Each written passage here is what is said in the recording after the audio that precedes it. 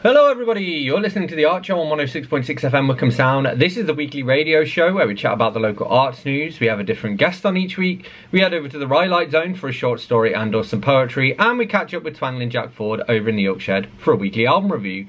As always, you can find us on Facebook. If you search for The Arts Show on Wycombe Sound, you should be able to find us. And we are repeated on Wycombe Sound on Monday nights. We're on the Wycombe Sound Listen Again, iTunes, Spotify, and wherever else you get your podcasts. Please do leave us a short review on your podcast platform of choice. It all helps. You can also reach out to me here at the studio by dropping me an email on dane.cobain at wycombesound.org.uk. That's D-A-N-E dot C-O-B-A-I-N at wycombesound.org.uk. We're going to head over to the Rhyolite Zone for the latest installment, for the, for the latest installment of Insomniac, uh, which is a novella by myself, Dane Cobain. Week 35, day 2. Living with her mother required some adjustment. For a start, the old woman had started to treat her like a child again. She gave Kate a bedtime and made sure she stuck to it whether she managed to sleep or not. Most of the time she didn't. She just stayed up all night and stared at the wall, waiting for the dawn to come. For the first couple of nights, she'd given up and climbed back out of bed, then headed downstairs into the living room. But her mother was having none of that. It was as though she had some sort of sixth sense. She had an uncanny knack of heading downstairs at just the right time to catch her daughter in the act. If she found her there in the living room after the all powerful lights out, then she'd send her back up to her room with a clip round the ear. Kate hadn't slept since she'd left the old house, but it wasn't from lack of trying. Her body just refused to shut down, and her brain kept reminding her that her old routine was dead and that she'd need to adopt a new one. She'd been up for the best part of four days without any stimulants, and the world was starting to look sluggish and artificial. At night, when she was confined to her bedroom, she listened to the wind and rain outside and the sounds that the cars made as they meandered past. From time to time, she'd overhear a snatch of conversation as two youths walked past with their hoods pulled up to ward off the cold. Other than that, she was alone in her room. Mostly alone. Zeb never really left her. His eyes watched over her around the clock, and he'd started to follow her not just at night when she was confined to the bedroom, but during the day as well. He even followed her onto the bus to the dole office, swiping the seat next to her. The other passengers seemed to somehow know that something was there, and so they never took the vacant seat. Either that, or nobody wanted to sit next to the gaunt young woman who looked like a junkie and who muttered to herself as the bus coursed through the streets. Like a boxer slumped against the corner of the ring, Kate was struggling to stay above water. She wasn't sure how long she could keep on fighting. Week 36, day 3. Kate had landed herself a job. True, it wasn't anything special. She was working part-time hours for minimum wage at a charity shop and using her earnings to pay off the debt to her old landlord, but it was something and, as her mother liked to say, it kept her out of trouble. The old women that she worked with thought she was some sort of goddess. She had a knack for valuing items and listing the best of the bunch on eBay, and if they left her alone in the stockroom, she could sort stuff like there was no tomorrow. That was because she had a helping hand. Zeb wasn't exactly docile, but it turned out that the apparition had a soft spot for sorting through things. He told her that he fed off the psychic vibrations that the objects had attached to them. Like her adjustment to the lack of sleep, she marvelled at how quickly she'd grown to tolerate the ghost that plagued her. Since Nana Knight and her second demise, Kate had lost the will to fight. She'd seen what happened. And so Zeb had gone from being a malign influence, a tumour on the biological matter of life, to being a guardian angel, albeit a fallen one. Kate was working in the stockroom when her neck gave out, she felt fine, and then all of a sudden she didn't. It tensed right up, and she dropped the box she was carrying with the clatter of broken crockery and the rattle of spilled knickknacks. She threw her hand automatically to her neck and tried to massage some life into it. What's going on in there? Kate flinched. The voice belonged to Maud, the shop's assistant manager. If she found out that Kate had damaged the goods, she might go full Mr. Murray on her and tell her to go home and not come back. But she was also a kindly old lady, and Kate trusted her gut for once and made a decision. My neck, she shouted. Something's wrong with it. I can't move it. Maud came bustling through into the back room and rushed over to her. What happened? I don't know, Kate said. She tried to move it again, but it was still locked tight and inflexible. Maud, I'm scared. I need you to do me a favour. What is it? I need you to call me an ambulance. Week 37, day 1. The good news was that there was nothing seriously wrong with her neck.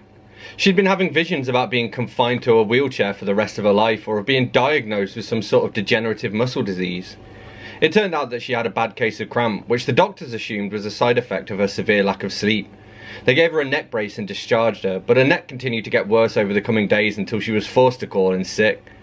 The bad news was that she still had no diagnosis. She had hope, though. She'd been booked in for another session with Dr. Jalopnik at the Sleep Research Centre, and the day finally arrived on the Monday of week 37. You've lost some weight, Dr. Jalopnik observed. Too much weight. We're going to have to run some more tests. Tests, Kate murmured. Again. What are we hoping for this time? A diagnosis, the doctor replied. I have a few ideas. She paused for a moment. You know, this weight loss isn't good for you. We need to figure out what's causing it. It can't go on. Tell me about it, Kate said. I'm wasting away here. Are you eating? Yes, she replied. Why does everyone keep asking that? Hmm, Dr. Jalopnik said. I wonder. Kate waited for the punchline, but it didn't come. What? she asked. I'm going to see if I can get you a session in the tank, Dr. Jalopnik replied. Week 38, day 3. Kate had lost half a stone in the week or so since her last appointment with Dr. Jalopnik, and she was starting to worry that if they didn't find a cure for her soon, she'd literally waste away until her pale skin turned translucent and her bones stuck out from her body. She'd seen photos of people with eating disorders, and the thought of it filled her with horror. She didn't want to end up like that, and the prospect was made worse by the fact that nothing seemed to help. She was eating as much as she could, scoffing down huge portions of her mother's greasy food and deliberately eating stuff that was full of fat and calories, but none of it helped. It's not as though I can't keep it down, she thought. It's like the calories don't even count, like the food's passing straight through me without touching the sides. Either the food is a ghost or I am. That was the latest instalment of Insomniac by myself, Dane Cobain. You're listening to The Arts Show on 106.6 FM Wycombe Sound, and this is Bitterroot with their version of All Along the Watchtower.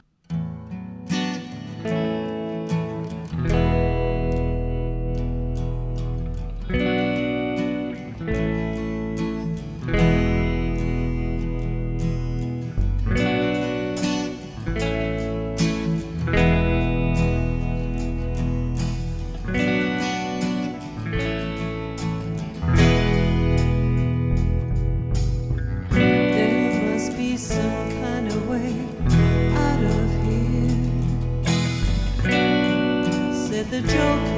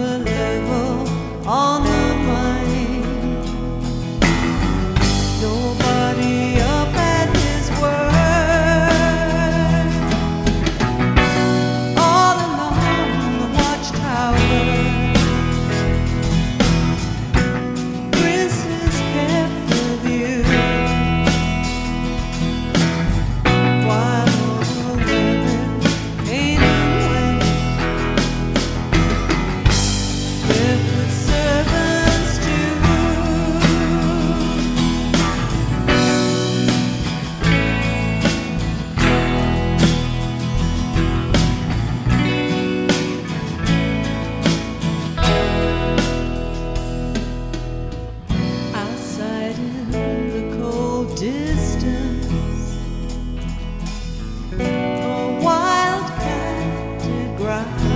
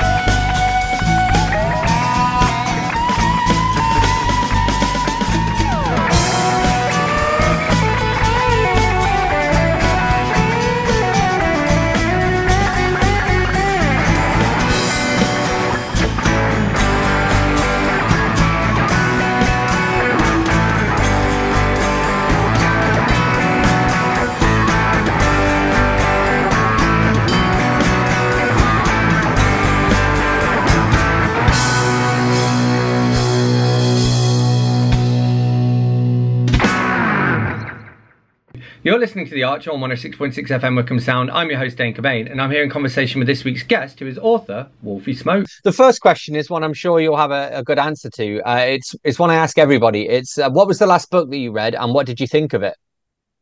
The last book I read, uh, it was a it was a book called uh, Beauty. I forget the author's name, but it was a retelling of Beauty and the Beast. Mm-hmm.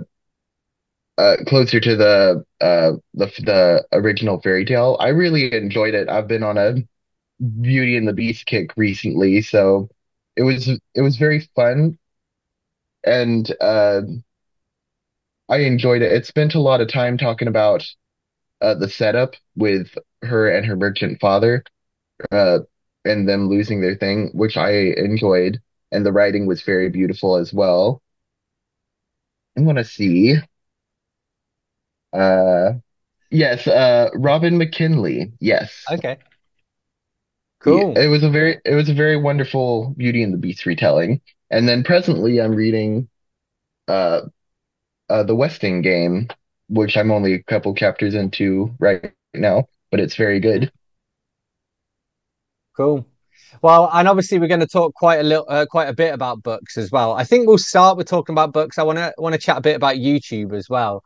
Um, yeah. But one of the first things I wanted to ask, obviously, for yourself, both as a reader and, and as a writer, I suppose, you have a kind of a particular interest in middle grade. And I wondered if you could define for us what is middle grade and what makes for a good middle grade book. Ooh, that's a good question. Uh, well, to me, it's uh, books that are targeted between like the 12 to 14. Maybe uh, you could expand it to like 10 to 14. That's what I usually, uh, the as age range Mm-hmm. That's what I would usually think of it as. as. Um, it's hard to define what makes a good one. I guess it's there's got to be a really nice balance of uh, a co- complex enough to be a good story, but not too complex that it's outside of what the audience can comprehend. Because mm-hmm. me personally, I enjoy more complex stories as opposed to simpler ones. Uh, and so I really enjoy uh, things like Harry Potter and things that are a bit more involved and have characters with deeper backstories.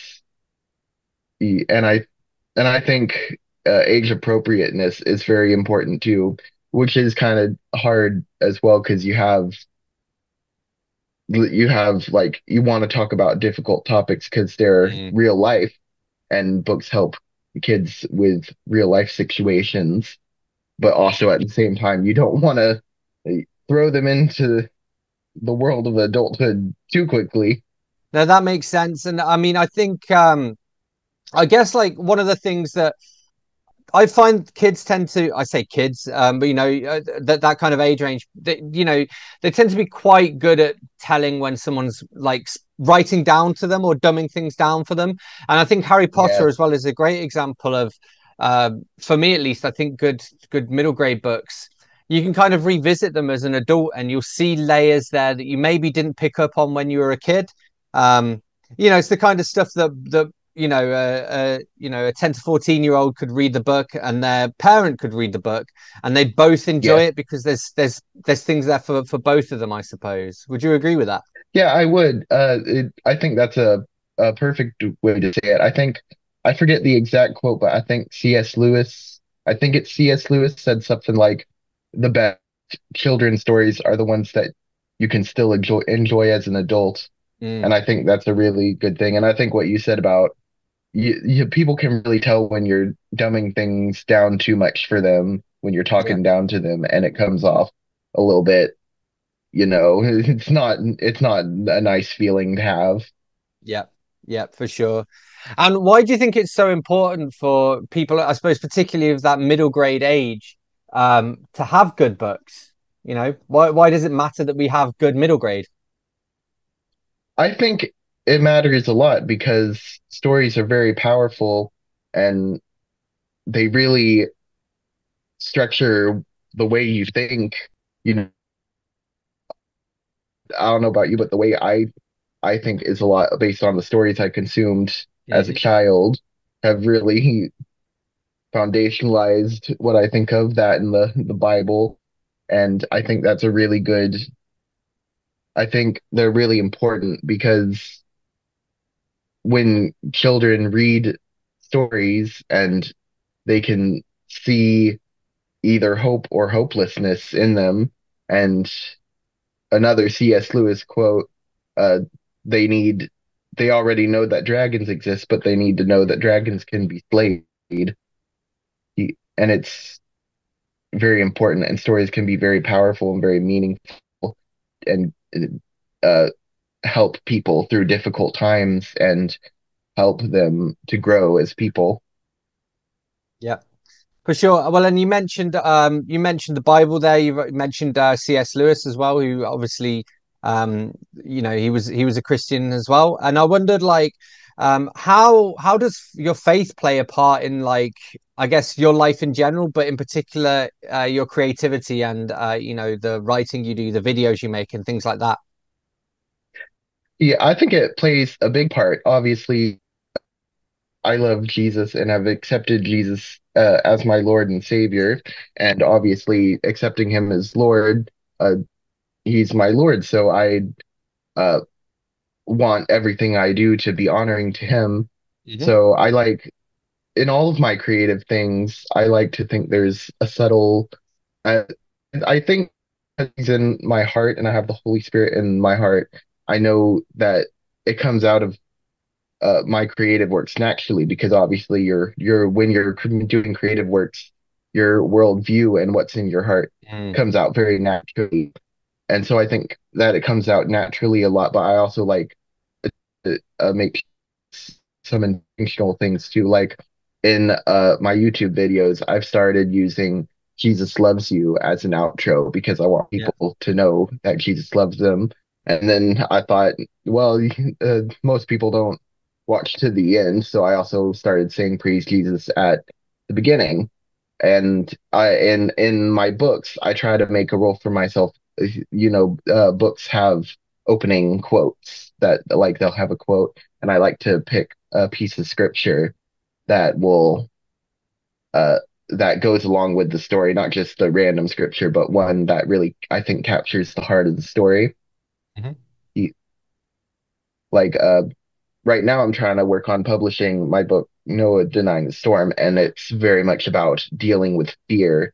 And so I picked especially fear of storms, and so I picked uh Mark 440, which is the story of Jesus calming the storm. And I uh put and I put uh and I put the line where Jesus says why are you so afraid? Do you are you still so faithless? Yes. Yeah. Yeah, no, that makes sense. Well, and um, we you mentioned your YouTube channel there, and I suppose that's you know that's where I first first came across you. Um, how long have you been making YouTube videos, and what kind of content do you create? Uh, I've been making videos uh, on uh, my channel that I'm is main right now. I I made is I think I started that in December of 2016. 2016. I remember because I was supposed to be doing NaNoWriMo, but then halfway through NaNoWriMo, I decided I'm just going to film a book video instead. Yeah, and then before that, I still I've still really enjoyed uh, filming things. I know me and my friends used to film things all the time. And I know when I was a kid, I would my parents always said I went around with the camera and photographed random things in the house. But uh, on main you on YouTube, I've mainly been doing it since 2016, and I've uh, I've it's changed a little bit. I start I started uh fo- mainly focused on books, but I also wanted to do some other things. Uh, to some degree, my channel is for other people, and to some degree, it's personal to me. Like I like to capture like a scrapbook. I I like yeah. to think of it as like a scrapbook that happens to be public, but I also like to see it grow as well and it be a platform. So I've made lots of book videos and I stopped making book videos for a while, but then then recently I've started being more interested in making book videos and I've also made uh some gaming videos like Sims and Minecraft and I've made I've made like some personal vloggy things. Like I recently did one of cleaning out my closet while talking about why certain how certain uh clothes affect my insecurity and things. Yeah. Cool. Well, and I, I, I meant I wanted to ask you as well, specifically about your your uh, your Sims videos, because um, you're calling it a, like a rotational Let's Play as well, and you're following a whole bunch of different characters, and I think you can tell that you're a writer from your approach to playing The Sims because of how much you know your characters and their backstories and things like that. And I wondered, can you introduce us to a few of the uh, a few of the Sims that are in your Let's Play? Uh, yes, um, that's a. I think that's a very cool thing because I do think a lot of my writerness comes out in my Sims. Uh, yes. Uh, the characters that I mainly think of is uh, uh, there's Gwen Windlust, and then her two children, Antonio Vorhand and Prince Vorhand, and their uh, uh, their father has uh, abandoned them, and so now Antonio uh, ha- kind of has to keep up the household. And, their mother, Gwen, is very spacey and like kind of deals with things by being uh, not quite in touch with reality. So her teenage son has to keep their household grounded and keep them from going under. And so that's been a fun storyline. And then they're uh uh uh what's the other one? The uh the other one is uh another uh of my favorite households in that rotation is uh Bonnie and Jack, which who are in a re- in a relationship and in a growing relationship and their boyfriend and girlfriend, but Bonnie is uh, a cop and Jack is secretly a criminal behind the scenes. So uh, there should be some fun things happening when she finds out about that. yep. You're listening to the Arts Show on 106.6 FM Wycombe Sound. I'm your host, Dane Cobain. I'm here in conversation with author Wolfie Smoke, and this is Hoger's Wolf with Books and the Bicycle.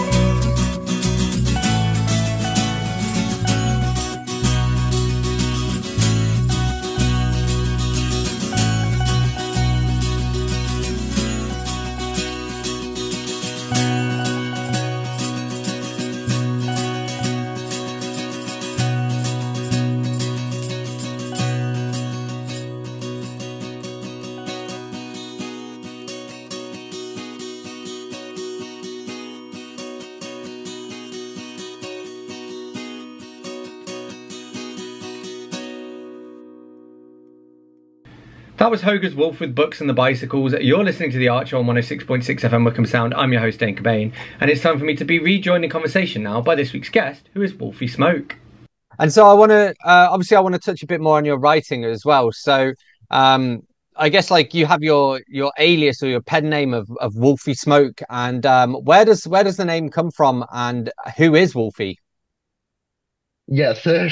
Well, uh, you want to have a name that's memorable and that sticks with people and also suits with your with your uh, audience, which I think Wolfie Smoke does very well. And Wolfie is kind of like a, a self-imposed nickname a little bit in my house because I just am really a big fan of wolves and, and the concept of werewolves and things. So I enjoy. So I I kind of when I was a teenager, I kind of stuck like when I uh write my name on things, sometimes I'll write Wolfie instead of Daniel. And you can see I have Wolfie as my nickname on Zoom instead of Daniel as well. Uh, and so that's and I'm not sure where smoke came from. I guess I just wanted something that felt mysterious and you Yeah. you know smoke and mirrors and all that thing. So I wanted something to capture a mysterious element for the sake of the writing, and I just thought the name sounded cool. Yeah. And I thought Cool. it suited well with my works as well. Yeah, and it, and I think you know just as as a name by itself, I think it it kind of rolls off the tongue a bit as well. Um, but yeah, and you you mentioned like it goes well with your works. What can you tell us about your your writing? Um, you know, what's your style? What are some of the themes you cover? And um, you know, do do you have books out at the moment? I have one book out that I published back when I was 14. I self-published it called Sea of Trees. Uh, and I don't I don't want to uh uh rough on my own works, but you can kind of tell that I wrote it when I was 14. And now I'm trying to work on No Denying the Storm, which I have uh, a cover designer working on at the moment. When I'm very excited about me the the first draft of the cover uh, just before this started, so I'm really excited about that. So that should be out before the end of the year. And I really enjoy themes of redemption, like Sea of Trees is about these two boys that really hate each other but then they end up being friends by the end. And I like Mhm. I enjoy redemptive arcs of like villains becoming good guys and time travel seems to be something I'd like to touch on a lot too, which is odd because it's not something I've ever touched on a lot, but no denying the storm touches on time travel and a lot of the uh, ide uh, ideas I think will most likely be exploring in the future touch on time travel. And you mentioned o- obviously um, we talked about how as as a kid you always had your you, you know your video camera and you were taking photos, uh, you know, and you've got your writing, you've got your YouTube videos. I mean, do you have any other creative hobbies as well? Do you do any kind of art or music or anything like that? Uh, yes, I took art classes for several years, and you might not be able to tell it from my art because I mainly just draw little cartoon characters most of the time. But I have a sketchbook which isn't doesn't have that much, but I like to doodle in that a lot, and I I enjoy scrapbooking and making pages look nice on scrap in scrapbooks and documenting memories, and I enjoy you know, I'm one of those people that whenever I find some something creative on the internet, I like to dabble in it a little bit. Yeah. Most of them don't stick, but scrapbooking and, you know, fancy journaling, like you've seen those people that do like really fancy journaling and scrapbook pages and such as that. And I've done a little bit of painting and a little and a a good bit of drawing as well. Yeah. Well, I suppose even going back to the, the you know the games that you've played uh, uh, or that you've I suppose you played the most on your YouTube with with Minecraft and The Sims, and both of those are very you know they're games in which you create things you know literally in, in minecraft you're building houses and uh you know in the sims you're building the world but you're also again building houses um building the characters Yes. out as well so that's kind of interesting that you're attracted to those kinds of games rather than i don't know something more destructive like i don't know you know Fortnite even or or, or whatever so Mhm. it's funny that even the your choice of games i think kind of is quite creative choices Yes, I think you can really tell my personality based on the the things that I choose. Um, I've only got a few more questions I want to cover. One of them, uh, going back to YouTube, who are some of your favorite YouTube channels uh, to watch when you're not creating? My favorite YouTube channels. Uh, Yeah.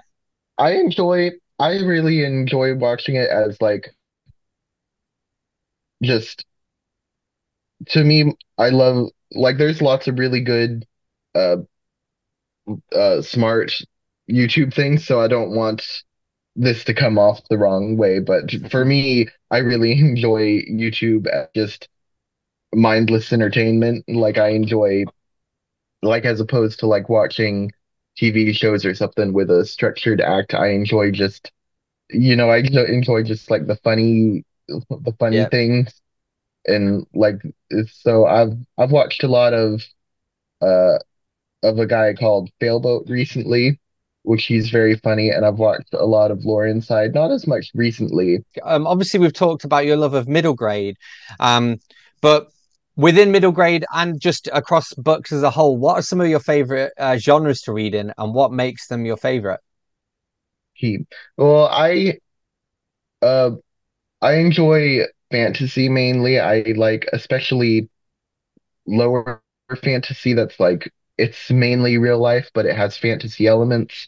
And I enjoy I also enjoy a good uh realistic contemporary novel now and then. I sometimes I just like to enjoy like seeing a character going through a hard time. I think that's a fun thing to read about. Uh, I also enjoy reading a good a bit of classics. You know, it's nice. It's nice going into classics knowing that they're tested by time Yeah. and they're a, a solid bet for a good read, even if sometimes it'll go over my head a good lot of the time. The- And Yeah. and so those are some of my favorites. And I, I meant to ask you this earlier, actually, when you were talking about again um, the importance of of good books for younger readers, and you mentioned from your own childhood, there's there's some books you remember reading and um, the kind of formative books for you.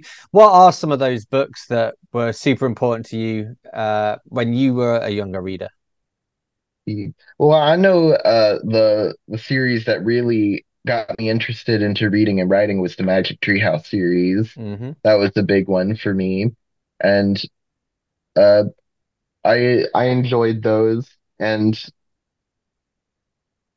I also enjoyed the Narnia books. Those were big big for me. It, there's so many books. I remember my mom would read us books a lot. She would read us uh the I remember she read us the series of Unfortunate Events, Yeah. which was really good, and she read I don't think she did read us the Harry Potters. I think I read Harry Potter later myself. And yes, there's the mind goes blank when you ask about the books, you know. I literally I remember the Redwall books. I love the Re- Redwall books. And uh the Alice in Wonderland is a big, big one for me as well. Well, and that goes back to what you were saying about classics as well, where you you know that's classic middle grade, I suppose. See, there's also like The Secret Garden and Pinocchio, all those solid classic middle grades. Awesome. And finally, um, it's kind of two questions in one, and we've touched on it a little bit, but um, what have you got planned next, and where can people follow you to find out more and to stay in, uh, stay up to date with what you're up to? Uh, yes. Uh, presently, as I said, I'm trying to get uh, No Denying the Storm published. It's a it's a middle grade book about time travel and fear, as we've discussed. Uh, uh, I've been posting about it a lot uh, on my Instagram, mainly on at Wolfie Smoke on Instagram. I'm also on uh, YouTube, as we've talked about, as the Reading Werewolf, which, as we've discussed, is mostly Sims. I I'm going to post some about my writing on there too now that I'm working on it, but mainly my writing I talk about on uh uh the Instagram as well. And then I also have a website which needs redoing, but uh that is wolfiesmoke.com. Big thanks to Wolfie Smoke for joining me. You're listening to The Arts Show on 106.6 FM Wycombe Sound. I'm your host, Dane Cobain, and this is LunaBarge with Adventure. two, three, four. We're going on an adventure. This land is ours to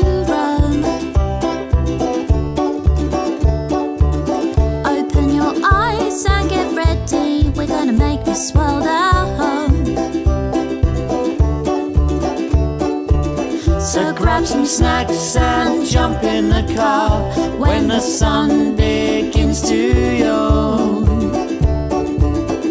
All we need is just you and me and a road pointing for the door. This is our adventure. Take chances while we can, and I know no better plan. Is our adventure. Gonna write it on the page, and I'll meet you on the stage. We're climbing high on the hills, meeting monsters on the way. So keep your eyes on the road, this could be our lucky day. Catching stars on our fingertips, where the darkness swallows our view. We can fall from time to time, but we'll know just what to do. This is our adventure, take chances while we can, and I know no better plan. Is our adventure, gonna write it on the page, and I'll meet you on the stage.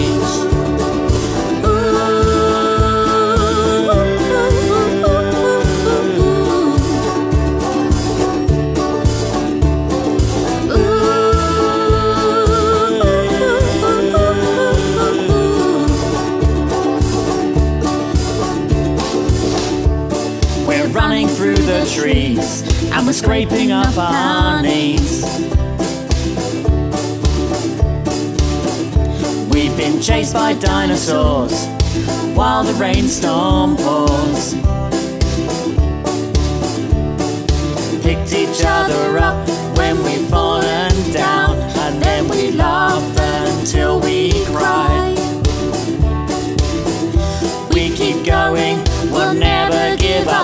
We're gonna soar into the sky. This is our adventure. Let's run away together. Let's make it last forever. This is our adventure. We're gonna see the sights. It's gonna last the rest of our lives. This is our adventure. Take chances while we can. And I know no better plan. This is our adventure. Gonna write it on the page. And I'll meet you on the stage. Ooh, oh yeah. I'll meet you on the stage.